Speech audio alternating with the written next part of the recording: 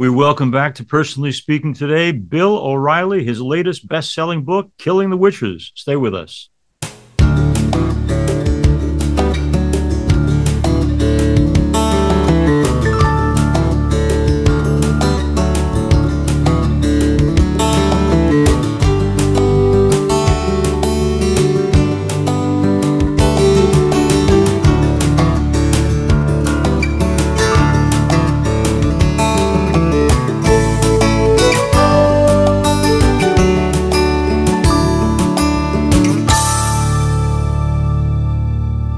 And welcome to Personally Speaking. I'm your host, Monsignor Jim Lisante, and television journalist and best-selling author Bill O'Reilly joins me once again.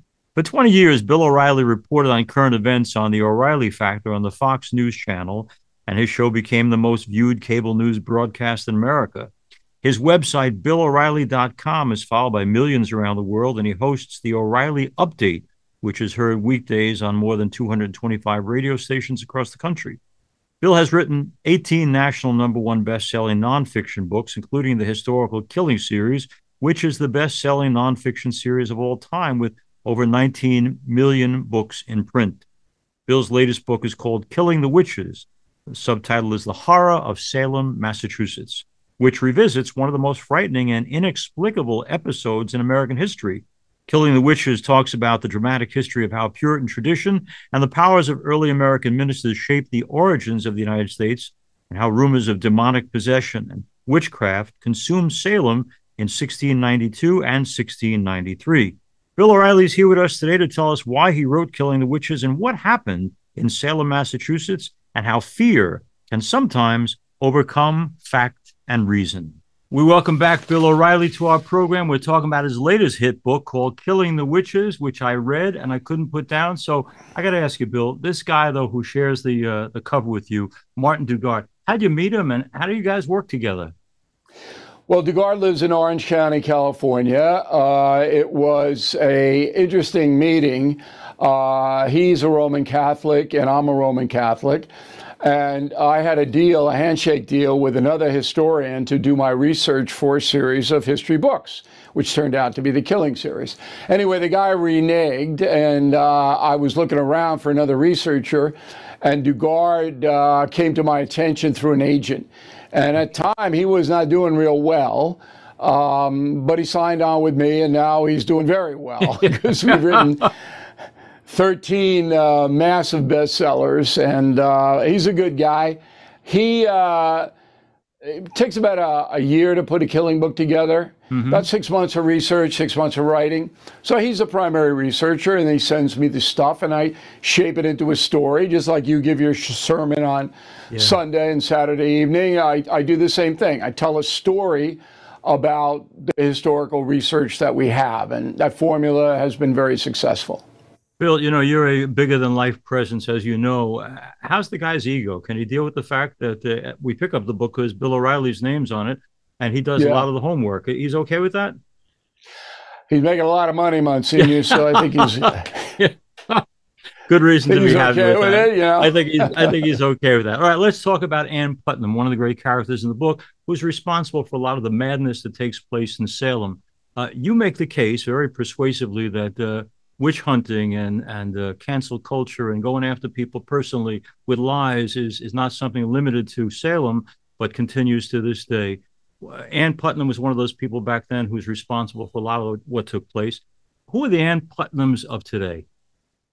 Well, let's give the audience a little background if they yeah. haven't read Killing the Witches. So, okay. uh, the reason I wrote the book was because the witch trials, the witch hunts in 1692 have returned. Uh, to America in 2023 in the form of the cancel culture. So what this is are accusations unproven. Obviously, these girls, Ann Putnam was a, a young girl. And, and they couldn't prove anybody was a witch. They just accused them. And two weeks later, these four people had ropes around their neck. So today, the cancel culture is designed to do the same thing eliminate people uh, you can't hang them anymore, but we can destroy their lives, mm-hmm. uh, make it impossible for them to be employed, uh, and destroy their families. It's exactly what happened in 1692. So the girls back then were uh, and the boys. There was no childhood under the theocracy of the Massachusetts Bay Colony. So the Puritan ministers came over. They were actually booted out of England by the king. Uh, they come over into Mayflower, harrowing. We put you on to Mayflower in the beginning of the book. You don't want to be there. Um, and then they come here, and there's no fun. Can't have any fun. Any fun sends you directly to hell. So the kids are like crazy.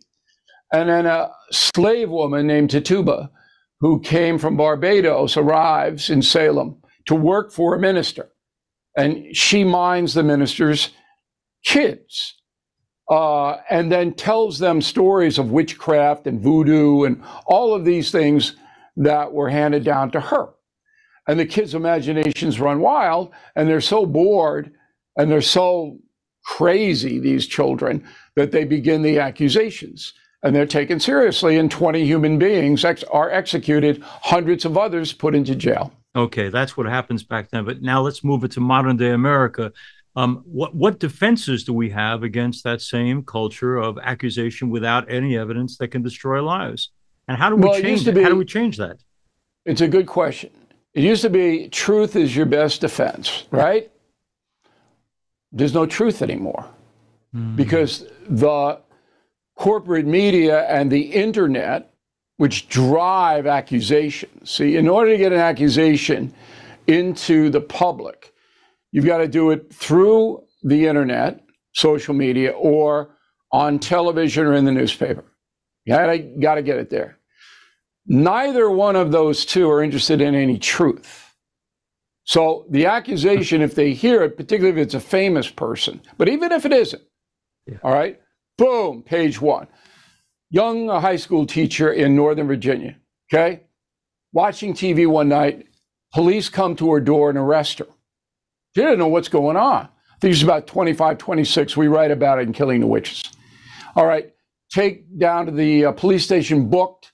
Cops call the local media, all over the place. A student had said that she acted appropriately toward him. Two weeks later, the charges are dropped. There's no evidence at all.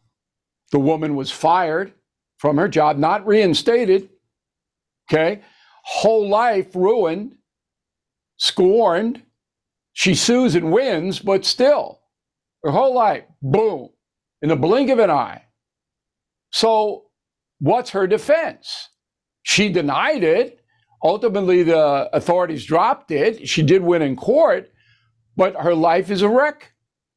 So, we have a number of those stories at the end of Killing Witches.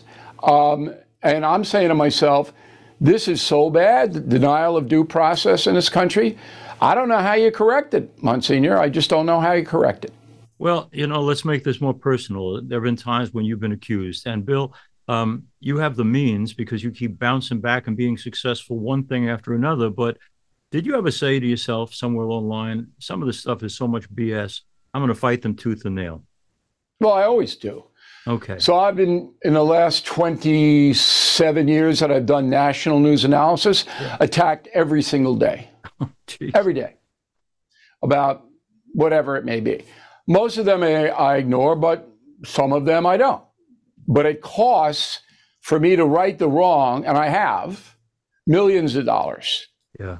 Most people don't have millions of dollars. Right. Because I have to hire lawyers, they have to go in, they have to get into the, the system and there's depositions, and it just never ends.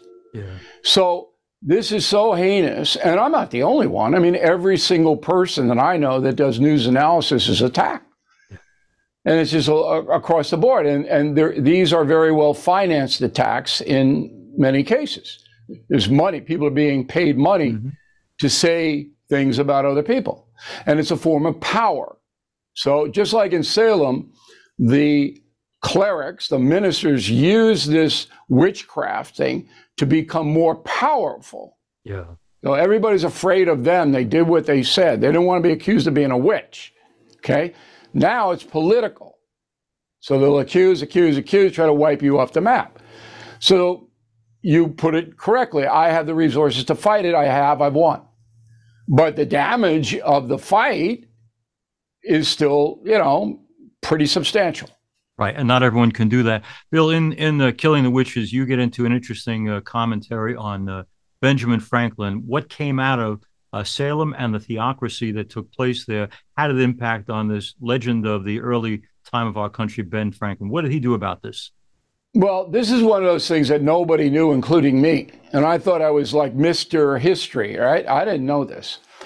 So when the Salem witch trials took place 25 miles north of Boston, but a lot of the witches were put in Boston jails because there wasn't enough room in Salem. And Benjamin Franklin was a teenager in Boston. He was a genius. And he started to follow, he, it wasn't contemporaneous. This happened before Franklin, okay? But it was written about, and the chief witch hunter, man named Cotton Mather, was alive, still a preacher in Boston. And Franklin went to his house. And they had a long conversation, and we detail that conversation in Killing the Witches. Franklin was so unsettled by that, he never forgot it.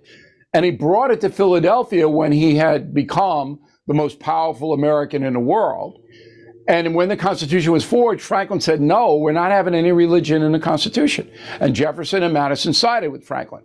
Patrick Henry, Roger Sherman, bunch of others wanted in the Constitution for America to be defined as a Christian nation. Brawl. And we write about it extensively. Big brawl in Philadelphia over that. Franklin, Madison, and Jefferson win. Henry's so mad, he bolts and goes back to Virginia. Okay. But to this day, the government cannot impose or endorse a religion in the United States, and that's the way it should be. Bill O'Reilly is our guest, Killing the Witches, this book. Bill, when you talk about a false accusation, how do you fight back? I couldn't help but think, too, of our own uh, lovely Catholic Church, and I guess so many other groups, too. 96% of priests are clearly uh, innocent of any kind of wrongdoing toward kids. 4% did bad stuff. But you know, and I know, all it takes is an accusation to destroy a priest. For priests who don't have a whole lot of resources, what should we do? Well, at this point, I think the Australian case where the, in Australia, Cardinal and then Pell. it was subsequently uncovered that he was completely innocent. Mm-hmm. That was a tipping point. And then I think people started to say, okay, we need to be a little bit more skeptical here. Yeah. I feel very, very badly for anybody, not, not only clerics, but anybody yeah. who has to go through this and, and, and is innocent and, and they're, you know, surrounded by it. The only thing you can do is just hold your head up, mm. tell the truth, and just keep pushing ahead.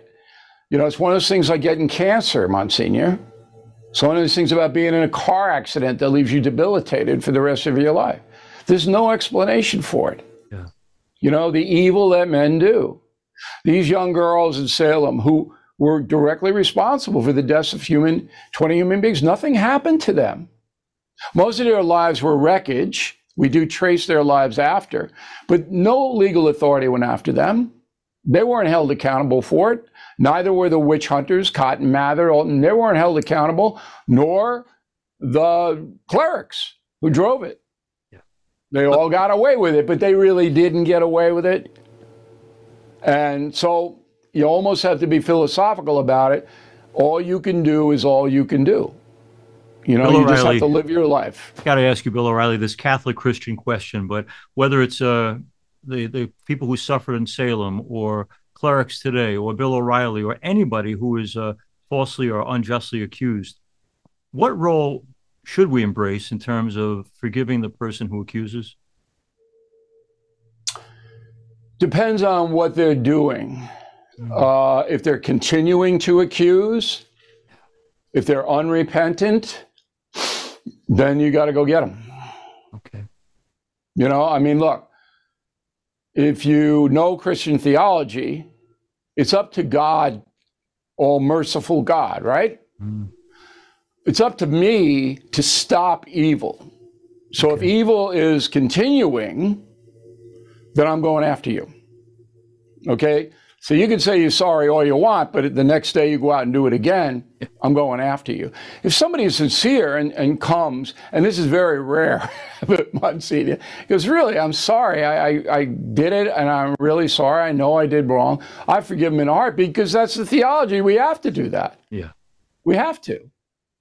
But to continue to do evil and then go, oh, I'm sorry about that, but I'm going to continue to do it. No, yeah. not me. I'm St. Michael the Archangel on that one. okay. Bill O'Reilly's our guest. Killing the Witches is his latest great book. And now, since you identified as Catholic early on, I'm I'm also one of them. I got to ask you this question: There's synod going on in, in, Rome, bringing all these people together. If what comes out of it is uh, women deacons and blessing of gay unions, how does Bill O'Reilly Catholic feel about that? You know, I got uh, Robert Barron. I think you know him, yeah, sure. uh, Bishop Barron over there, and, and I'm talking to him about it. Uh, that's way beyond uh, my uh, station in life. Okay. See, I'm not judging anybody. I, I don't have that moral authority to do that. I think it would be a much better world if everybody understood that we, as flawed human beings, sinners, don't have the moral authority to judge anybody. The Christian theology is that marriage is between a man and a woman. So we're going to keep that. I assume. I don't think Pope Francis is going to knock that out. If you want to be compassionate to people who are gay who want to get married, I don't see anything wrong with that. Okay. But I don't think that within the theology it's going to expand out of sacrament of marriage to anybody but man and woman. Okay. Just my opinion. And uh, just today, I had a funeral where a Lutheran deacon uh, woman came to church and was asking when we might have uh, women deacons in the church. Any particular point of view as a Catholic? I like women deacons. I think they should do it tomorrow. Okay, good, good. Priests good. is a different story because of the fact that if you are a cleric, a priest in a Catholic church, that is your primary family. Mm-hmm. If you have another family, and then you get into dissolution of marriages and, and uh, kids who are not behaving or whatever. It's impossible. You can't, as a priest, tend to your flock and then raise and have a family at the same time. There's too much going on there. But women deacons, bring them on. Why bring not? On. Okay. Bill, uh, it's a moral and political question I'm going to ask you now. Were you shocked at all by the fact that, because I am, I admit it, that uh, in light of the slaughter that took place outside of Gaza, that we're facing so many demonstrations that are pro-Palestinian in this country, with seemingly no regret for the the Israeli victims. Well, these are stupid people. Uh, that's my commentary tonight on the No Spin News, which you can access on BillO'Reilly.com. That's where we live. Did you know, Monsignor, thanks to your prayers, uh, BillO'Reilly.com is the most successful independent news agency in the world right now? I'm not surprised We're at worldwide. all, Bill. Not okay. surprised at all. So, people who, who embrace Hamas at any level are stupid people. Mm. They don't understand what Hamas is. They don't care to understand what it is. Always remember, people believe what they want to believe. All right, I believe in God because I want to believe in God. God's never shown up here at my house. Okay, but I want to believe in him, so I believe in him. For whatever reason, some people want to believe that Israel's a fascist state. Mm-hmm. And that's what they're going to believe. And you can give them history lessons, you can show them this, that, the other thing. They're not going to believe it. So when I see the Harvard people, and that's my alma mater, as you may know, out there going, right on Hamas, I know that these people doing that don't know anything. They don't know what Hamas is, who's behind Hamas, what the philosophy is. They don't know what the Germans did. They don't know what Stalin and Russia did. They don't know anything. They're told something, and that's what they want to believe, so they believe it. I kind of dismiss those people. Mm-hmm. I don't really take them seriously they would never in a million years approach me or debate me ever because they'd be reduced to dust. You know, Ash Wednesday is from dust we come to dust you shall return. Well, they would sh- they would return to dust quicker than if they debated me. So anyway, I I, uh, I, I don't want to I don't want to I don't want to denigrate or make light of the fact that these people exist. Right. But they're not serious people. Some of them are neurotic haters, and you got to watch them. Uh, Bill O'Reilly is big into details and facts, so I want to give our listeners and viewers a fact too. He does have a degree from the beautiful people at Harvard, but he also went to Chaminade Catholic Boys High School and Marist College, so he's well Catholic educated. Any regrets on either of those experiences? No, Harvard was good for me, exposed me to a lot of uh, people that I never would have met. And uh, when I went there in the 90s to get a master's degree, it wasn't crazy. Marist College was excellent okay. for me. Uh, working class school, played football. It has now gone woke. Oh. It's interesting. The further away they get from the Marist brothers, who yeah. built the school, literally built it, and then the school went secular in the late 1960s, the further they get away from that, the worse the school becomes. Mm. In fact, hmm. I, I didn't send my son to that school because it's insane, in my opinion, Marist okay. College. Chaminade was very disciplined. I didn't particularly enjoy it. I played ice hockey there, and that was fun. But it, but it served me well. And my father was right. I wanted to go to the public school. He goes, You're going to Chaminade. You go to the public school, you're going to be in prison. He was right. okay. Thank you, Dad, for that wisdom of the ages. Now, on a, on a personal note, too, for our listeners and watchers, I had the privilege of meeting and talking at length to uh, Bill's mom and the great lady and I, I mentioned that, Bill, because I always like to uh, go to family awards and the good stuff that you got from mom and dad. What, what did they give you? Dad, we know, gave you that great education. And from mom, what did you get that's of value to you even now? Um, so I'm doing a show on August 27th at the Paramount Theater in Huntington called A New York State of Mind. And I'm getting into all of that about how my upbringing, which is really your upbringing and everybody's upbringing in the New York area. Right uh, you know, working class upbringing, how it was and why it has changed. That's the theme of the show. We do it funny. Um, so my mother and father were children of the Depression. Mm-hmm. That was the key. And then my father went off to World War II as a naval officer, as I write about in Killing the Rising Sun. They had a point of view that this country was noble. They had a responsibility to raise their children in the church and as decent human beings. Okay? They weren't smoking pot on the weekends. And there were rules. I got to ask you, in light of our country, Bill, which is divided, and the world, which is divided, is Bill O'Reilly a man of hope? Yes, because history goes in cycles. Okay. So we're in a down cycle now yeah. on every front, and a lot of it's because of this. So people now have abdicated personal responsibility and they create their lives on, on an artificial machine. Yeah. And that takes out a lot of humanity, a lot of compassion, a lot of empathy, goes right at the window. But we need strong leadership here to emerge. We don't have it now. And I think it will. It has. It always has. So you, you know. So I am. You know, I'm not a cynical guy. I'm I'm a guy who problem solves and lays it out there the way I see it, and hopefully, people will uh, understand what I'm talking about and try to do the right thing. Bill, you read the polls, and I read the polls. The polls that say that. Uh, the majority of the country doesn't want this to be in 2024 repeat of, of 20 in terms of Biden versus Trump. Uh, is that the way it's going to go, first of all? And are you one of these people who says, I wish there was another candidate? Well, look, I want uh, the best for the country. I'm not really qualified to say who the best candidate is. I'll give you strengths and weaknesses all day long. I don't think right. Biden's going to run again. Okay. Um, Trump looks like he's going to get the nomination. But with Trump, any day could be anything. so it's not a lock. But okay. at this point, if the election were held tomorrow, it would be Trump versus Biden. But I, I think Biden leaves the stage. Mm-hmm. Uh, a lot of stuff building against him. And Trump is Trump.